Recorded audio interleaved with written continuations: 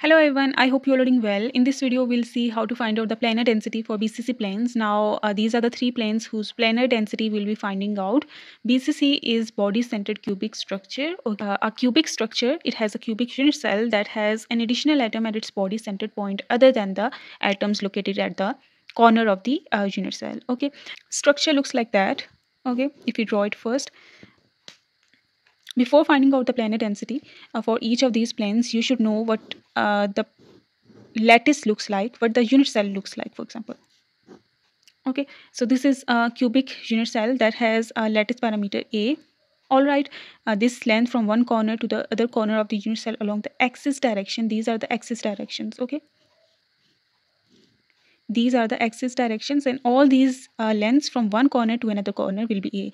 But this from this corner to another uh, to this corner will not be a because this is not parallel to either x y or z axis okay? So only those lengths which are from one corner to another corner along the axis direction will be a. So lattice parameter is a and uh, there will be some atoms making up the unit cell okay? Let these atoms be represented by these spheres. These are spherical in nature in theory and they have some particular radius capital r okay? Let that particular radius is capital R and all of these atoms are similar in our theory. So these are the corner atoms, you know. All right, so this is a cubic uh, structure and for BCC, for it to become BCC, there will be additional atom at the body center point. It, it will be like at the centermost point here and keep that in. So for BCC uh, lattice, inside work you should know that uh, the uh, relationship between atomic radius capital R and the lattice parameter A is as I found here you can find out the link to its complete derivation in description box. So here is the relationship and that could be potentially used to express the planar density in terms of atomic radius also. Okay so let's get started with finding out the planar density for 100 plane as we have seen uh, the BCC structure now, we'll uh, mention the formula that we'll use to find out the planar density. Let us denote it with uh, sigma. So uh, sigma equals capital N by A. Okay, where capital N means net number of atom centered on the area of the plane all right. And this is the main formula that we'll use. And this is a general formula okay that can be used for any kind of lattice it will be used for fcc bcc sc and any other uh, lattice you are considering. The formula will be same. Now let's start with the first simple uh, plane which is 100 plane these are the Miller indices of the plane and we need to first draw the plane from these Miller indices in order to find out its planar density in a BCC structure so this corresponds to x, this corresponds to y, and this corresponds to z. For drawing the plane, we need to take the inverses of these three uh, Miller indices, and it will give us the inverse of 1 is 1, the inverse of uh, y is uh, the inverse of 0 is infinity, the inverse of 0 for z is infinity again. Okay, so uh, I hope you know the steps uh, to find uh, to draw the plane from given Miller indices. So this is the back face and this is the front one. We'll first draw the plane and after that we'll find out these parameters for the uh, plane. So for x this is the origin. Okay if all the Miller indices are positive then this is the origin that you'll be taking. Uh, this is z-axis this is x-axis and this is y-axis. In case of planes the Miller indices represents the intercepts. Okay intercepts are the particular points along the axis on the axis lines. So uh, this is one. The non-infinity one will be considered first. So as these two are infinity so first consider this one. This is one. One points mean to the other corner of the unit cell along the axis direction. Since it is x direction so this is the point the other corner of the unit cell along the x direction is this one point. So this is the point one okay this is point 1 that's the intercept. And since the other two are infinity from this single point draw the parallel lines um, from this point along y direction first. Okay from this point along y direction which is this direction. Okay this direction is y. Parallel from this point parallel to y direction which is 1 which is this. Okay. And from this point since z is also infinity draw parallel line and also from this point along z because we are uh, interested in making uh, it to look like a plane and it will be drawn that way. From this point we uh, draw uh, the line parallel to y-axis first okay? And from this point now there are two points that we got this point and this point. From these two points we'll draw parallel line uh, along z direction and we'll join these two lines together. Okay so this is the plane this one side uh, the front side of the cube. Now we have uh, successfully drawn the plane. Now we need to find out the net number of atoms that are centered on the plane and area of the plane. Okay. Now for area of the plane as far as the area of the plane is considered because it is more simple to find out. So area of the plane is for a shape like that which is a square okay how it's a square because this length from one uh, corner of the unit cell to the other corner of the unit cell along the axis direction. These are the axis these this direction is axis direction and this length is also along the axis direction. From one corner to another corner it's a. This length is a also this length is a also this length is a also it's a square. And formula for area of the square is length into width which is a into a which makes a square. Okay so the, this is the area of the plane 100 okay next we need to find out the net number of atoms. In case of uh, planes the atoms contribution to the plane needs to be calculated because not the whole atom uh, is necessarily lying on the plane. Okay for finding out this uh, atoms contribution to the plane uh, we need to see that what portion of atoms cross section cross sectional uh, area which is a circle okay is lying uh, inside the plane. Okay atoms cross section area which is circle is considered. There is a circle right there there is a circle right there there is a circle right here and there is a circle right here. Okay and you can see that this is the plane this shaded region is the plane and you can see here that not all of the atoms part is lying inside the plane this portion of the uh, atom is lying outside the uh, plane okay? It's not uh, lying inside the plane so that portion is not a part of the plane okay? Only a small only some of the part of the uh, atom is lying or centered on the plane and how we'll be finding out this portion of the atom um, numerically uh, so that we can write a number instead of uh, the n value okay? The method is simple. So what will be the uh, method? What will be the uh, procedure that we have to follow in order to find out the portion of atom that is lying inside the plane?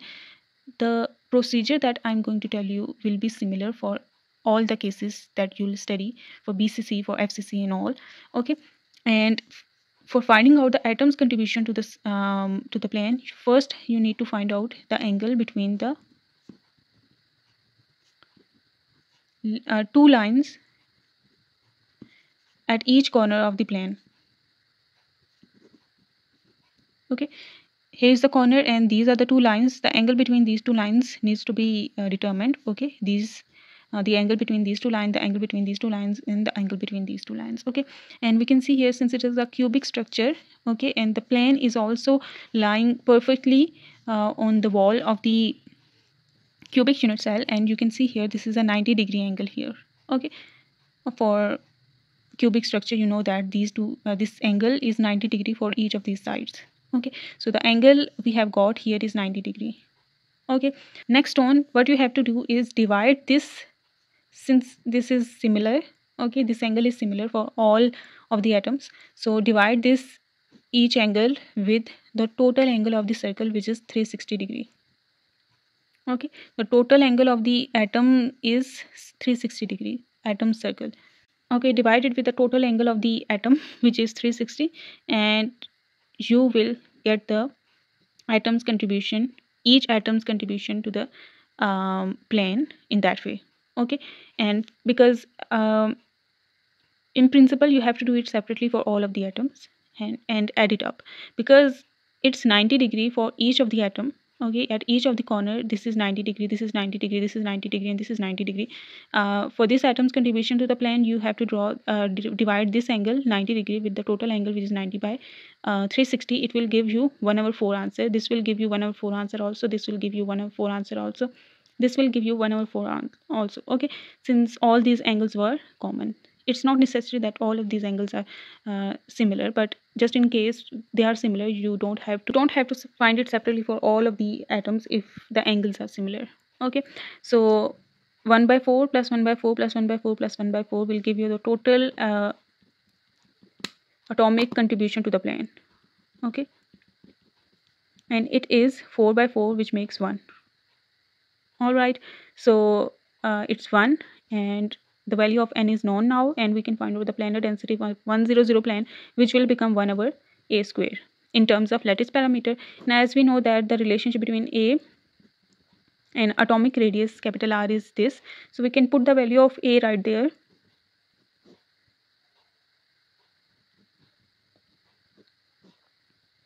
And on solving it it will become 3 by 16 r square as the value for planar density in terms of the atomic radius capital R in units of atoms per meter square. Alright, if you put the value of A in SI units after removing the prefix in all. Alright, I hope the method is clear to you all. First of all, we have to draw the plane. Okay, secondly, we need to find out the area of the plane.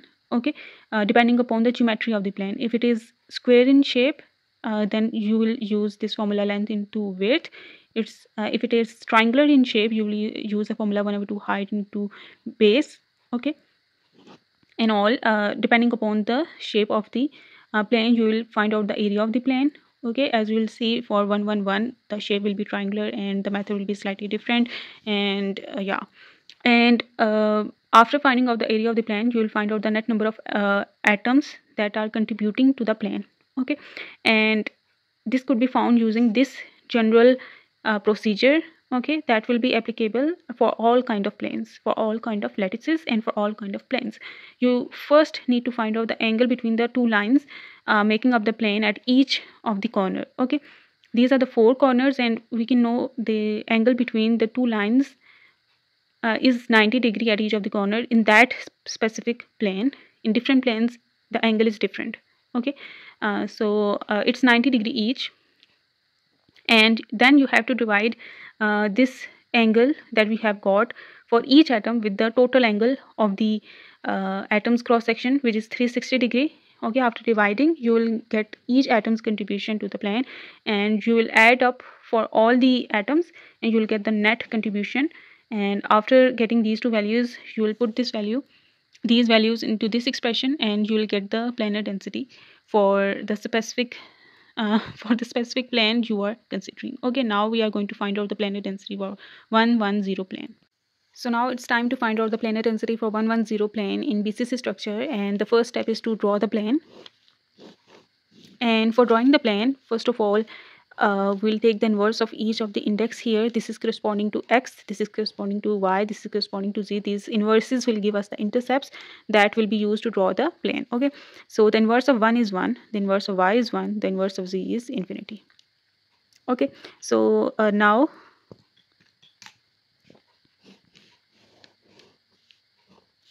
here is the uh, cube okay? This is x direction this is y direction and this is z direction okay? The first step in drawing the plane from given Miller indices is to take the inverse of each of the index right there okay? These inverses will give you the intercepts. This is x-intercept this is y-intercept and this is the z-intercept of the plane uh, under interest okay? This is then under interest. I don't know if there is a word like that but uh, the plane we are interested in okay? And since all of the uh, indices are positive that is why the origin for all positive Miller indices is this one point okay. Now to draw the plane uh, this is 1 okay? Uh, 1 as x-intercept which means one point and one point is obtained from moving or uh, from origin will move uh, in x direction to the other corner of the unit cell which is this point. So this is the point 1 okay this is one of the point uh, of our plane now next point is y with 1 so from origin okay not from this point but from origin because we are talking about intercepts here. And whenever you are talking about intercept each for each of the intercepts you'll move from origin okay separately. So for x intercept we move from origin one unit along x okay and we reach this point and this is the point 1 which is one intercept for uh, x direction and this is 1 for y. So we'll move from origin along y direction to the other corner of the unit cell which means 1 okay. So this is the other uh, this is one of the other point uh, of the um, plane under study. And since the z-intercept is infinity we'll draw uh, parallel lines from each of the point that we have drawn here uh, along the z direction. So from this point we'll uh, draw parallel line from uh, this point along z direction to the other corner of the unit cell okay. So it is this line okay? And this okay from this point also we'll draw the parallel line. All right and we'll join these lines together. These points together like that. So this is the plane all right this is the plane and uh, now we'll draw the atoms that potentially lie uh, on this plane. So there is atom at this corner there is atom at this corner atom at this corner atom at this corner and also an atom at the center point. Okay? There are the other atoms also but all those atoms will lie outside of this plane. They will not intersect the plane. That is why i'm not drawing them in order to avoid any kind of complications. So uh, these are the atoms that potentially lie on the plane. Now uh, this is a rectangular shape okay? These two lengths are equal and these two lengths are equal. This is a rectangular shape and its area is simply uh, this length multiplied by this length. This length is a okay? This is equal to lattice parameter since it is parallel to z direction. So this length is a multiplied by uh, this length. Let this length be capital L and we will find it out in a side work okay? Uh, this is a diagonal length and it makes a triangle like that okay this length is a this length is a and this is the hypotenuse. So using the pythagoras theorem hypotenuse square which is l square here equals base square which is a here. This length is a plus perpendicular square which is this is perpendicular and this is a again. So like that. It makes 2a square and taking under root on both sides it gives under root 2a okay. So this is the length of this diagonal here. So the area will come out to be this under 2a square all right. Now we need to find out the net number of atoms that contributes to the plane. And as you can see here this whole atom okay is lying on this plane. This whole atom. We'll talk about these atoms at the end.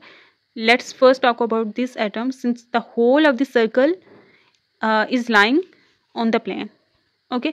That is why this atom's contribution to the plane will be considered as one as a whole atom circle is lying on the plane. This whole circle you can cross sectional uh, uh, area of the atom is uh, intersected by this plane. Okay that is why this atom's contribution to the plane will be 1 and this angle angle between this line and this line is 90 degrees. Since you can see here it is a rectangular shape and it is a and in a rectangle uh, the angle between the adjacent line is 90 degree also. So it's 90 degree here 90 degree here 90 degree here 90 degree here. So dividing 90 okay uh, by the total angle of the circle which is 360 here we will get 1 over 4 okay. So the net contribution will be 1 by this atom this central atom plus 1 by 4 by this atom 1 by 4 by this atom 1 by 4 by this atom plus 1 by 4 by this atom okay.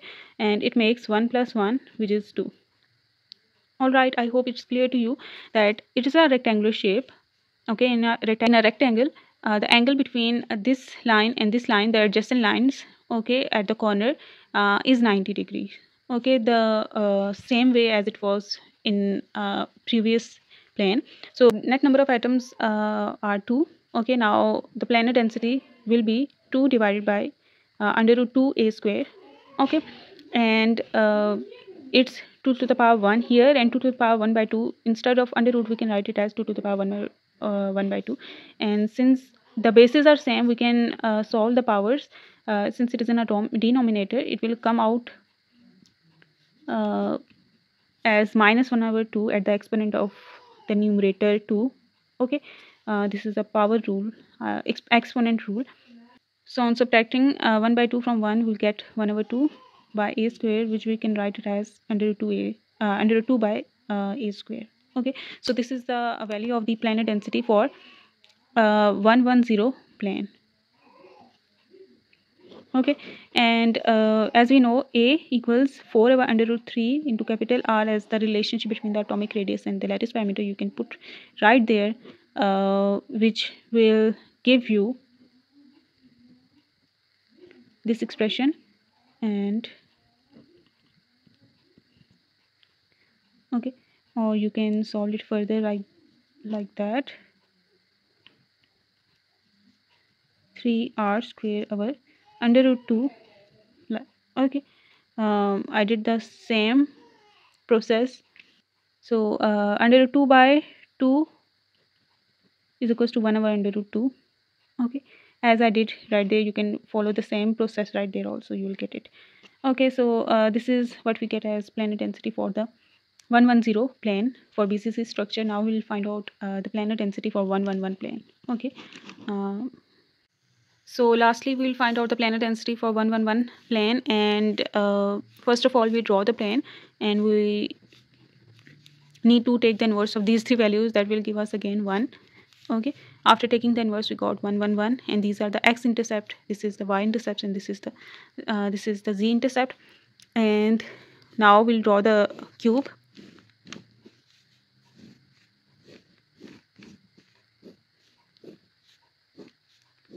okay this is y direction this is z direction and this is the uh, sorry this is the x direction and this is the z direction. Okay and this is the all positive origin. Origin for all positive Miller indices if all the Miller indices are positive then this is the origin. Now we are going to uh, draw the intercepts and we'll join them together to find out the uh, to draw the plane in order to draw the plane. So x-intercept is 1 which means from origin we'll move one unit along the x direction to the other corner of the unit cell which gives us this point okay?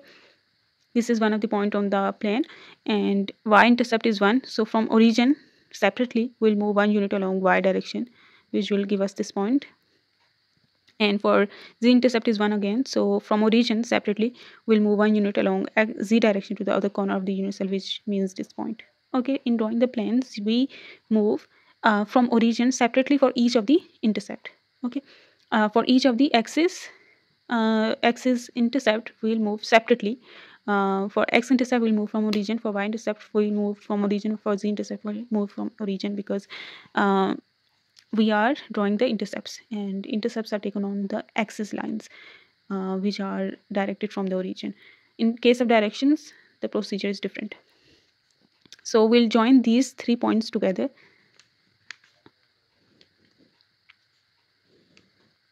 okay? After joining them together this is the plane that we got. Okay? So before finding out the uh, area of this plane we'll first find out the net number of atoms that lie on the plane uh, because uh, for finding out the area of the plane the, proce uh, the process is a bit lengthier. Not as much but uh, I just want to find out the net number of atoms first. For this let me draw the atoms here here's the first atom here's another atom and there is this is the last atom that lie on this plane. This body centered atom is not lying on the plane okay? It is lying below the plane okay? It is not intersecting the plane. That is why uh, the central atom is not uh, something that I'm going to draw because its uh, contribution to the plane is zero. All right only these three atoms are contributing to the plane and what portion of them is contributing to the plane needs to be determined. And for this we need to find out the angle between this line and this line which is not 90 here clearly. Okay? Since it is a triangular shape and in this time it's not a rectangular shape it's not a square shape uh, it's a uh, it's a triangular shape right there. So uh, we need to determine the angle between these lines. Okay? Now the uh, the triangle that it is making is equilateral triangle okay? Equilateral triangle means a triangle which has all of its length equal to each other. So how we know that? Because as you can see here the this length is a diagonal length this length is a diagonal length and this is a diagonal length also for each of the face of the cube. Since all these lengths are equal since in a cube all the lengths are equal so the diagonal length will be equal to each other also. Okay? So this face has a diagonal this this face has this diagonal and the bottom base uh, face has this diagonal all of these diagonals are of equal length.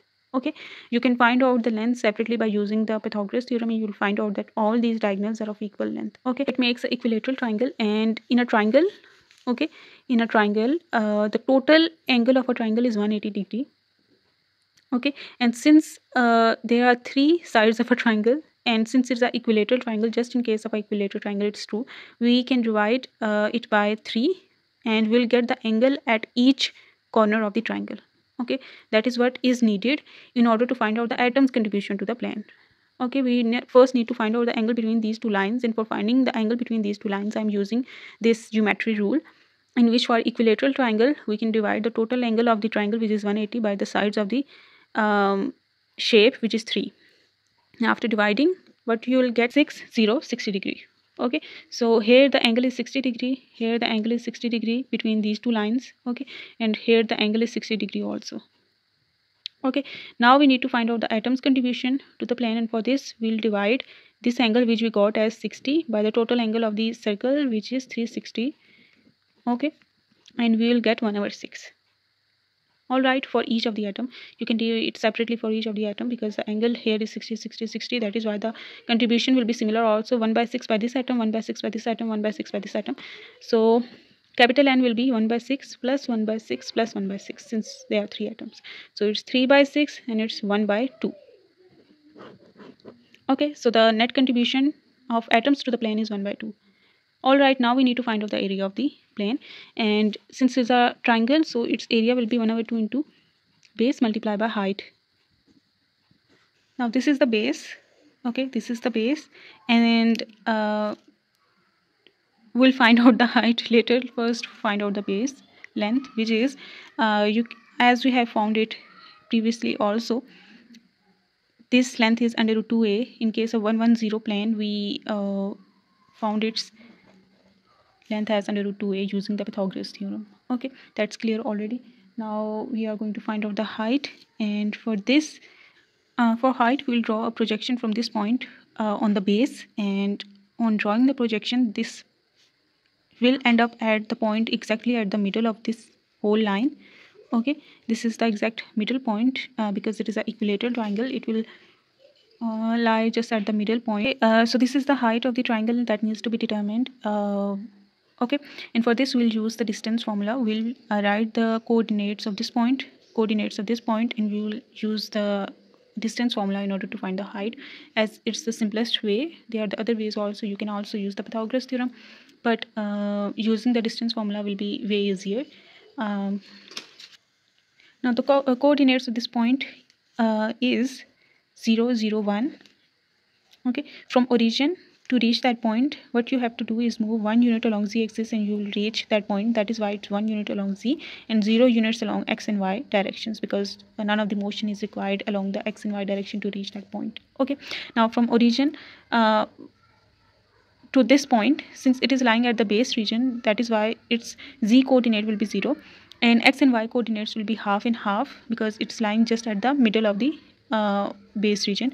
So it's half half and 0 okay coordinates of this point is half half and 0 coordinates of this point is 0 0 1 all right now we'll use the distance formula for this uh, h equals under root x2 minus x1 whole square y2 minus y1 whole square plus z2 minus z1 whole square and uh, the lattice parameter comes outside of the uh, under root. Okay the lattice parameter since it's a that is why it's lying here uh, we'll multiply it with the whole uh, thing that comes out after putting the values.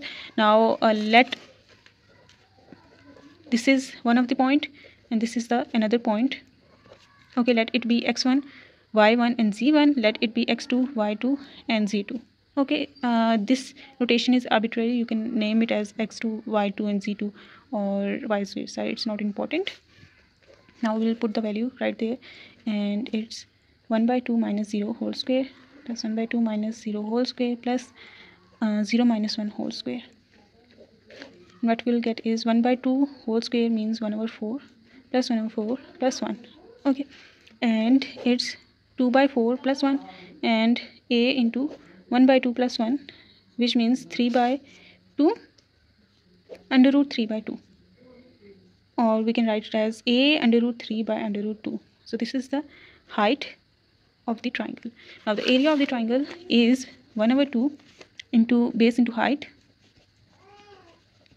1 over 2 base is under root 2a height is a into under root 3 by under root 2 okay under root 2 under root 2 cancels out and we get a square under root 3 by 2 so this is the area of the plane okay now next on we have to divide the net number of atoms that we got as 1 over 2 for the plane divided by a square under root 3 by 2 that comes at the numerator so that this 2 and 2 cancels out and what we get is 1 over under root 3 a square sigma.